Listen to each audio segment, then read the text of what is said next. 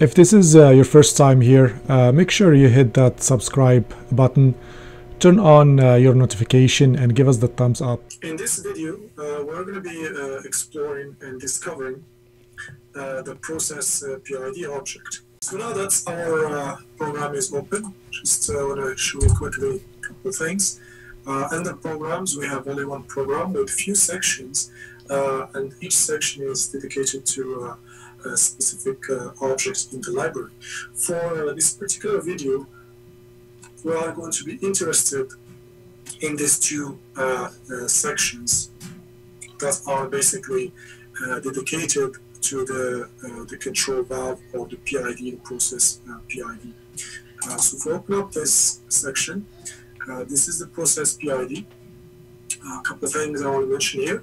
So uh, in terms of linking to uh, basically inputs, we have here the PV or the process variable, uh, as well as the override uh, and override value. As you see here, the override value uh, is left not linked, but you could link it to um, uh, you know a tag, or maybe you could put a literal value in here. So when basically you are in override mode, uh, the output will go to this value that you put in here. If you don't put anything, it's going to go uh, to zero. And uh, basically, this uh, this one uh, in here for uh, uh, the override, it's coming from the shutdowns of basically this this control valve that's controlled by a PID, and that is in here. So if we go to this shutdown section, we can see that the output of uh, basically this interlock shutdowns is fed to this uh, input in here, and we just linked that back to our block in here uh, to tell it uh, that uh, we are in uh, in uh, override mode, for example, when, when that triggers. And then from the output side, we have basically the manipulated value. So that's the variable we're going to be basically uh, controlling.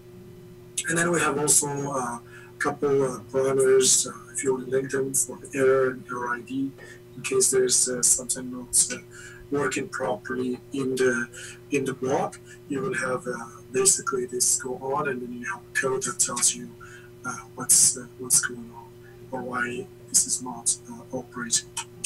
So as you see, this is ready and good to go. Uh, but before uh, loading all that to the PLC, uh, I'd like to show you also the HMI side. I go into HMI.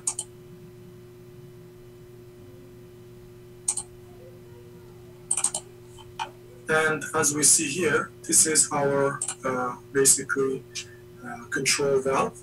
And we are going to be controlling uh, this valve uh, with this uh, pressure, for example, of this uh, vessel. So as you see here, the pressure is going down to this control valve. And uh, saying that, I want to show you that in the logic as well, how that is linked. So if we go back to the logic here, uh, if we go to our valve, we can see that we have here the PCV uh, 1000 underscore dots dot PV, it's linked in here. And this one here is coming from, if you go to the analog inputs, it's coming actually from here. So that's one of the reasons that we have here two PVs. So we can have this second one if we have this, for example, used with the PID uh, loop or with this block, for example, we can just fed this one here uh, directly to uh, this PV uh, for, for this to work. So let's go back to our HMI here.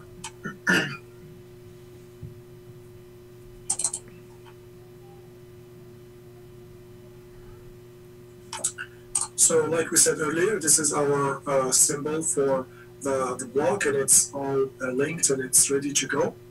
Uh, so we're gonna uh, download it to our HMI as well as the PLC program and then see how uh, how the pro- how the object uh, works and uh, its associated faceplate uh, from uh, the HMI.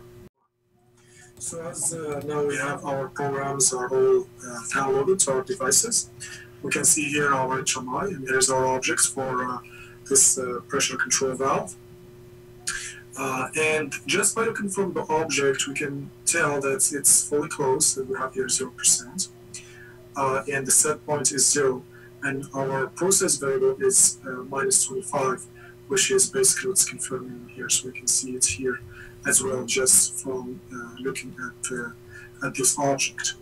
Now if we go ahead and open up to go to the faceplate, uh, so the faceplate we have basically three tabs, one for control, uh, and then interlocks, and then uh, the setups.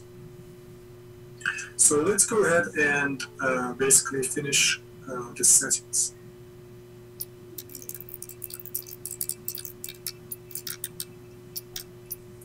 So now that we have our uh, settings uh, completed, uh, we can, as we can see here, we can set up the control action, the tuning parameters, uh, if we have uh, an interlock uh, object associated with this control valve object, as well as the type of the valve, whether it's fill close or fill open. for this particular example, um, I'm just going to leave things default. So we have a fill close valve and forward uh, for control action. So if we go back here to uh, our control, I can put my uh, PID in auto or manual. As we can see here, this is our set point, the process variable, uh, as well as uh, my uh, output. A couple things I will still have to set in here, which is these guys here that are representing the min and max for the output. And you're going to see in a second here. There we go. So with these, you can actually set up, uh, basically puts a trim on the min and the max so your output does not go below certain value, for example, uh, yeah, or does not exceed certain value. So that means, let's say if I put here, for example, 80, so my output will never exceed 80%, then I can put this to 80. Or, for example, if I want it to be between 20 uh, percent and 80 percent, that's the range that the output is going to be uh, in between. So it will never go below 20 and it will, it will never go above uh, 80. And we're going to see here in a little bit once I uh, uh, go to the analog and, and, make this uh, up and, and running. Uh, also this button here, which, which, will actually take us directly to the process variable uh, faceplate that is associated with uh, this uh, PID. Basically, we have uh, some issues. We just have to uh, finish the configuration of the channel. As we can see here, we're outside of the working range. And then this will be good. And then we can put some signals so we can see how our PID will work. So we'll just go back to our uh, PLC here for a second.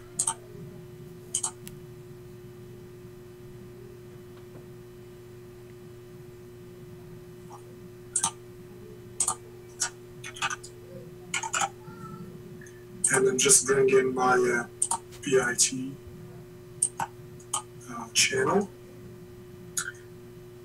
And this looks all good. So all I need to, to do basically is just give us a signal here, maybe a, a 12 milliamps, which will be 50% uh, for our analog. So as we can see here, it's 50 and then resets, so it's all good now. The channel is happy. And if we go back here, we can see this is also 50 kPa, right so as we see here now, uh, our PV is good. Uh, we have 50 uh, kPa. We limited our uh, basically outputs to 20 and 80%, for example. And our set points right now is zero. So let's put this to, uh, for example, uh, 90, for instance. And as we can see here, we can see that output starts to be start to modulate you can see this is uh, going up And in the same way, we can see the outputs in here as well. And we can actually change the set point just from here without even uh, basically going to the faceplate. So right from here, you can change the set point, can know what your PV is doing or process variable, as well as your uh, output.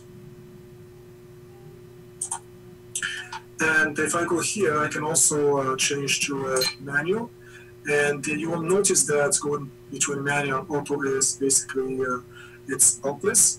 So right now it's at 50. If I go back to auto, you see it's it's going from, from there. If I go back to manual, it stops right where it is, and I can maybe push it back so yeah, to 20%.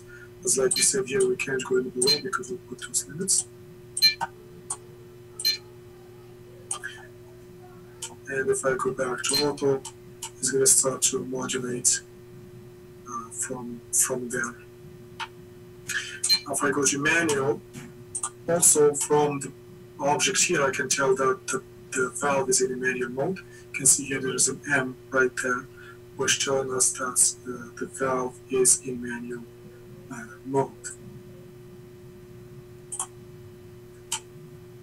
So uh, hopefully that's uh, give you a, a, quick idea on how you can uh, basically control your valve from uh, the faceplate.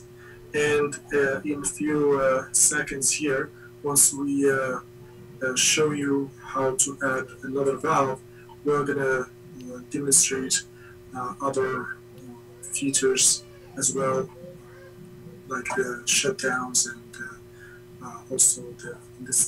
So uh, let's say, uh, for example, we want to add a control valve right here that will be controlled with this analog channel, which is, for example, a flow transmitter. Uh, so let's see what uh, does it take to uh, to add all that. So the first thing we would like to do is add our flow transmitter. So I'm going to add it in here.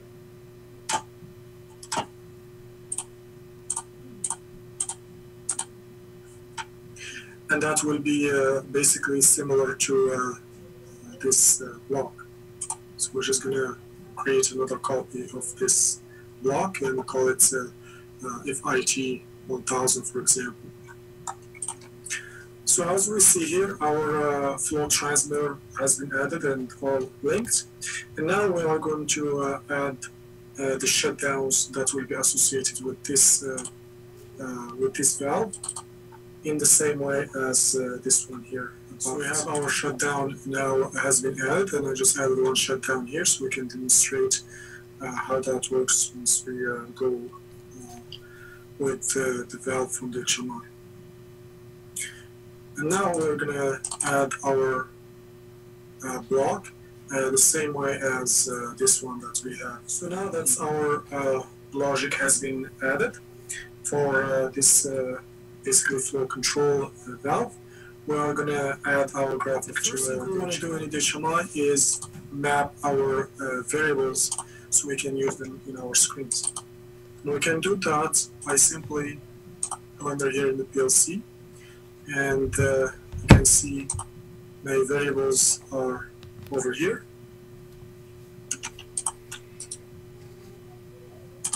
And then create and to keep consistent with uh, other tag naming, I'm going to delete this uh, default name. So our tags are ready to go. And then uh, I'll go to the main window. And I'm just going to make this bigger so you can see it better. And uh, simply I'm just going to get a copy of this guy and just drag it in here like that. And then bring the properties the window. And I will just change this to FCV. I just want one. Two. And then in here, uh, we're going to add the channel that is basically associated with this uh, valve, which is the FIT.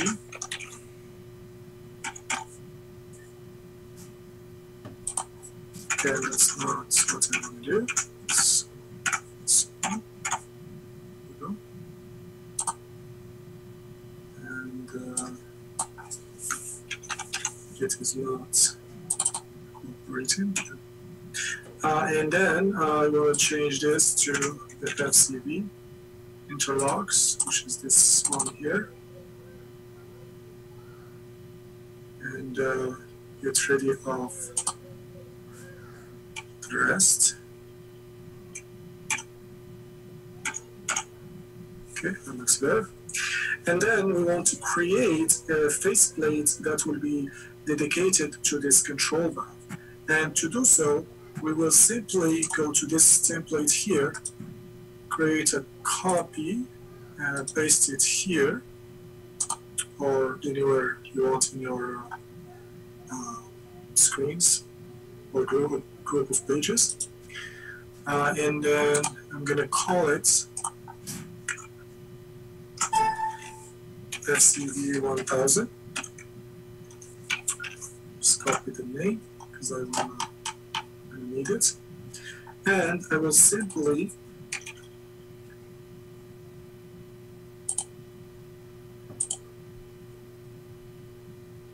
Okay, that is not what I want to do for sure. Let's go back. And then, uh, like I was saying, simply I just need to paste the name of this parameter and the object is uh, good to go. Uh, and then in the same way for the faceplate, we want to link also um, the same parameters.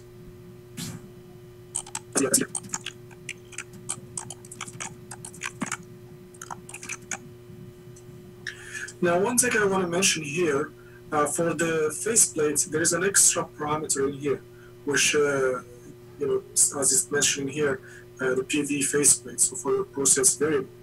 So basically, what that means is we have to add the name of our uh, analog channel uh, in, in here. And since we didn't uh, create it yet, so I'm going to leave that uh, like that for, for now uh, until we create the analog and then we'll add uh, the name in here. So let's go ahead and do that. So I'm going to get rid of this default and uh, simply grab one of these.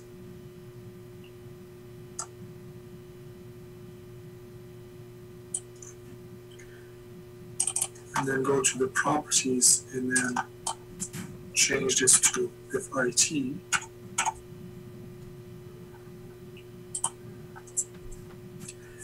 And then in, uh, in here, we need to create the faceplate that will go with this uh, analog.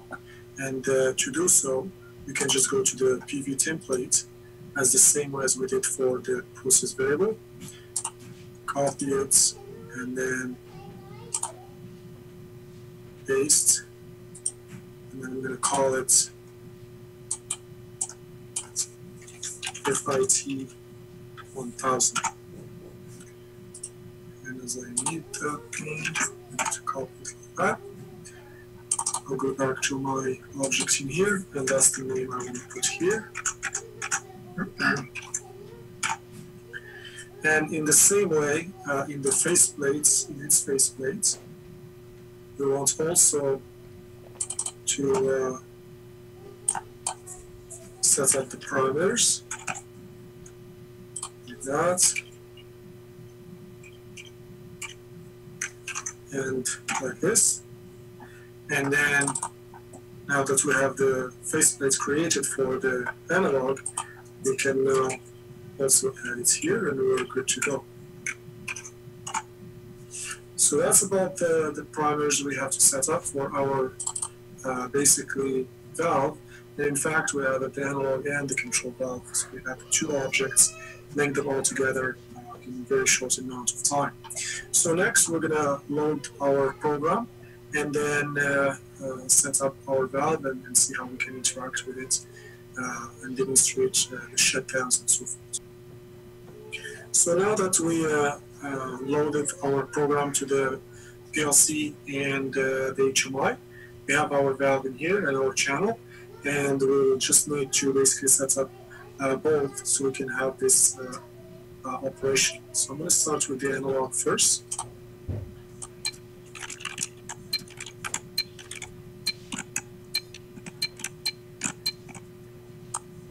So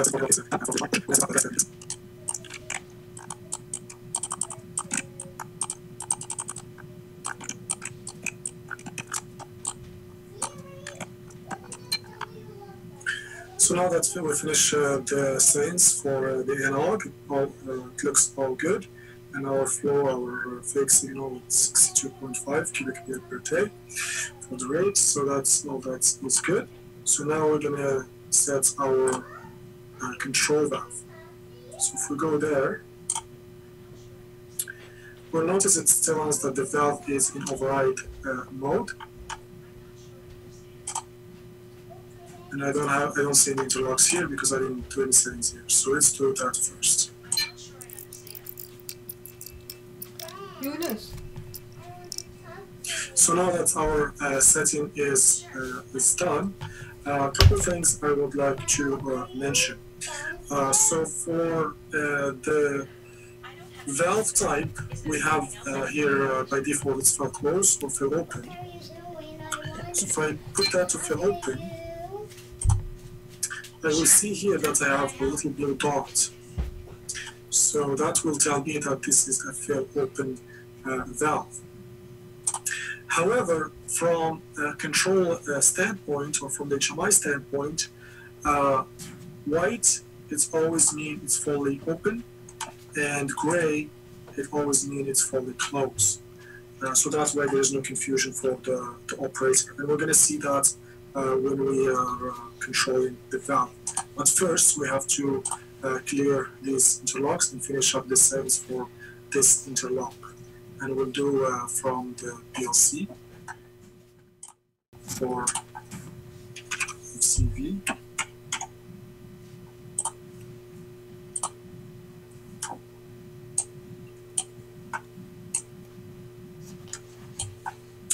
So I want it to be bypassable. It's true. Work states uh, is going to be one. So let's clear that. And for the message, I'm going to make this SHH uh, as you can see here. So that's all good. Uh, our setting is good and uh, the valve is uh, ready to uh, to be uh, operated. Right now it's in manual mode because it was in override.